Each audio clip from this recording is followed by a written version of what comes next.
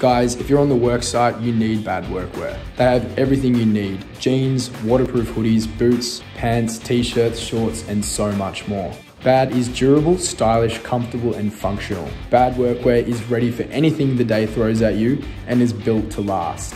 Head to the Bad Workwear website and get yourself gear today.